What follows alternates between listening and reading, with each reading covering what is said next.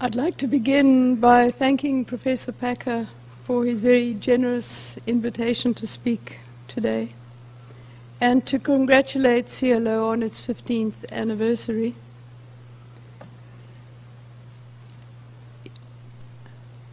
I'm very proud also to represent South Africa and indeed to represent my own journals, all of which are open access journals and which have been judged meritorious enough to be hosted in SciELO. My task is to discuss the future of peer review and to some degree, um, some of my thunder's been stolen during the course of yesterday and today. But I thought to ask two questions. Is there a future for peer review? Of course, that is very largely a rhetorical question. The title of my talk is indeed that peer review ensures and assures the quality of our publications. And then I ask the question, what will be the shape of peer review into the future? And I might indeed have called my talk The Wisdom of the Crowds, replacing the wisdom of the few. To borrow uh, something from a debate on peer review which was carried in Nature a few years ago. So, who are the few? They're actually an elite, and we heard uh, yesterday of how precious but also vulnerable they are, of clinicians, of clinician scientists, of basic scientists, who very often are academics and who work in a very narrow field sometimes of research. We rely on them as editors to offer us their wise advice and fortunately, they get it right most, but not all of the time.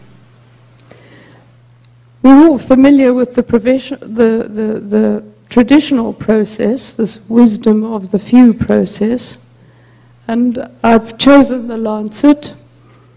The author submits a paper. Uh, in the case of the Lancet, that passes through an in house triage committee and if fortunate, the paper is sent for review.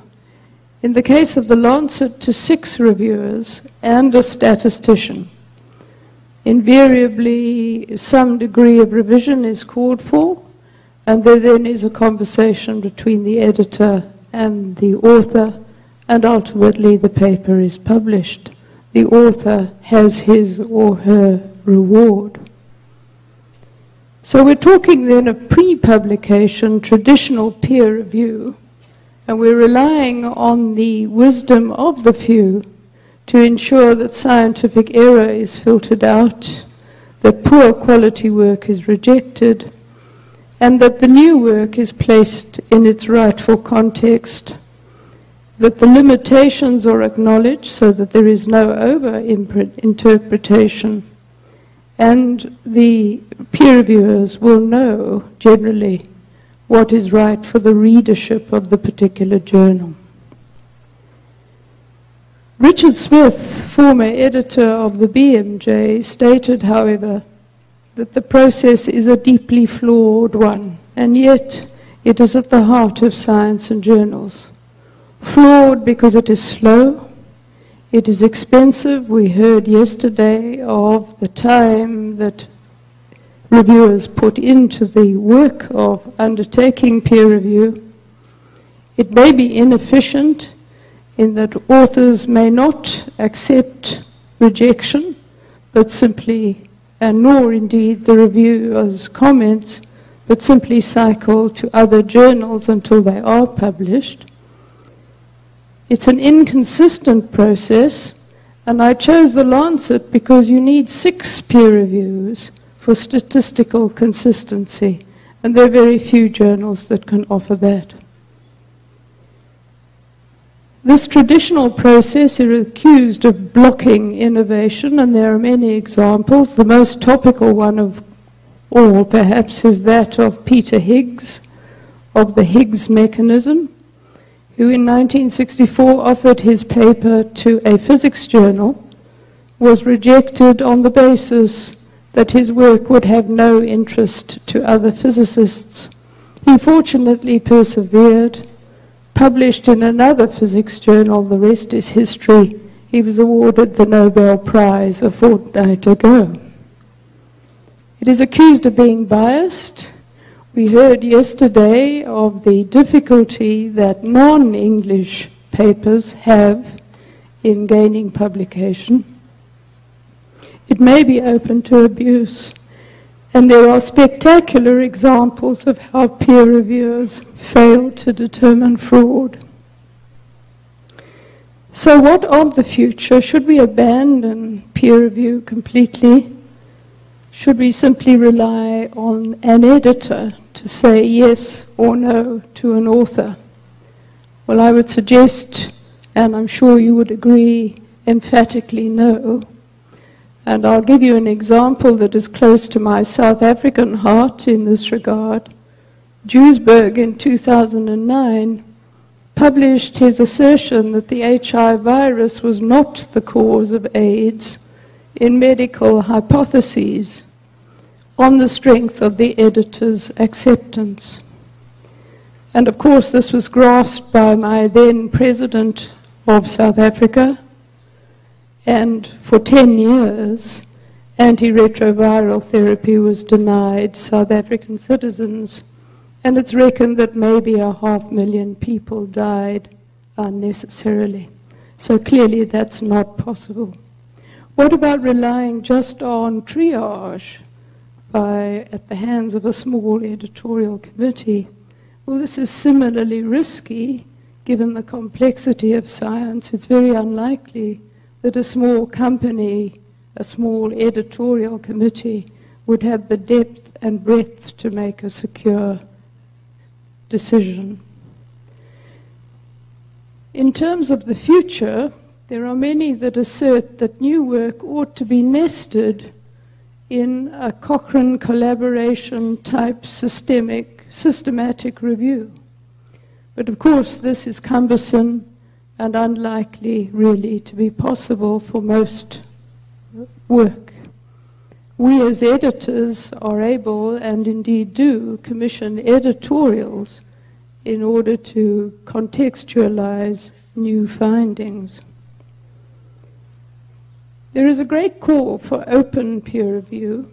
That is to say, the reviewers are known, named, and their affiliations known to the authors. This is not new. The BMJ undertook research to confirm in 1999 that this did nothing to detract from the quality of the reviews. Indeed, it possibly enhanced them, certainly would have made them more civil. And, but I do worry that smaller journals, such as my own, with much smaller pools of reviewers, would be able to sustain this model. However, we might be rescued by what we have heard about yesterday and throughout today, and that is the power of the internet and the networked environment that it offers us. So here then is replacement of the wisdom of the few by the wisdom of the crowds, with identification of peer as broadly as possible. And we've heard this afternoon of the power of the PLOS journals and that model. Disruption is their watchword. And we've heard that the criterion for publication is originality of the work. It's interesting to look at and the former speaker, I think, hinted at something akin to this model in relation to the efficiencies that might be achieved within his own publications. A paper that um, brings that, that is called The Game of Papers, this is the Economist's title for the paper, that announced the formation of this collaboration or consortium between the journals hosted by PLOS, eLife, about which we heard earlier today, the European Molecular Biology Organization and Biomed Central. And what this achieves is not so much that a paper is published or not, rather that it is published um, by a system of peer reviews that are interchanged between the journal titles, and ultimately the correct journal is found in which the particular publication deserves uh, publication and airing. Rubriq.com offers something similar. It is a model where review, the author pays, the reviewers are paid, and again, it's not so much that publish, that, that the paper be published, but rather where it gets published. The Peerage of Science is a very similar model with a number of journals that subscribe to the peerage. Authors submit a, a manuscript peers voluntarily engage in the review processes once the paper is available online and submit peerage essays. Interestingly enough, there then follows a period where reviewers peer review each other's reviews.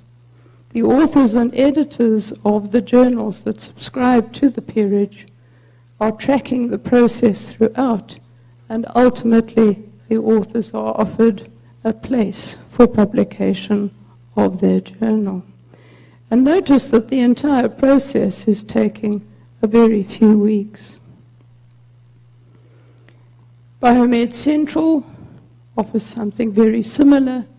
Again, the stress is on transparency with regard to who the peers are. And the founder of Biomed Central has recently launched the Faculty of a Thousand research journal. And this is interesting because he believes that to delay publication is criminal, his word. And so he proceeds to publication online within a matter of days. And then the paper is available for post publication peer review. Our post-publication peer review really is creating what exists in every clinical department, in every research laboratory, that is to say, a journal club. So it is these virtual journal clubs that are being established.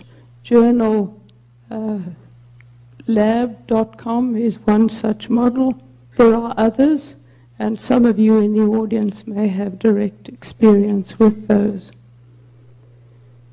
So if I look now at this modern and peer review into the future, what and apply the benchmarks of Richard Smith, what can we make of it? Well, certainly it's faster. I suspect it's still expensive because of the time, certainly, of the reviewers.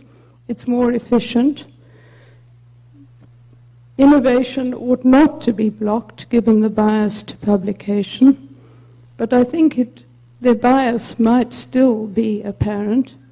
And we heard today of the paper published just this month in Science, Who's Afraid of Peer Review?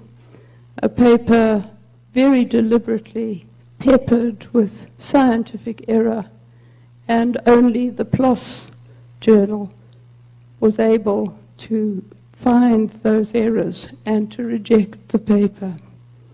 And worse, we've heard also of the predatory publications, and this same article reports on authors who have believed in the existence of these journals and have gone so far as to be tricked into paying author processing fees into these non existent spaces.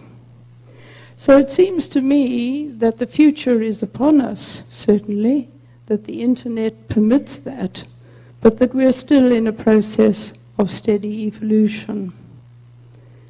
That we have open peer review, that it is a good thing, but it is yet to be made good. And Richard Horton, who edits The Lancet, in speaking to the UK Parliament about peer review, suggested that this evolution continues and what will, we shall eventually see is a combination of pre and post publication peer review that makes continuous but constructive criticism a new norm of science. And I think then we shall have achieved what Richard Smith called the blessing. The blessing upon the authors, for that really is the service that scientists do for their fellow scientists and for society as a whole. And perhaps then our authors will feel a little less battered, a little less bruised by the process of peer review. Thank you for your attention.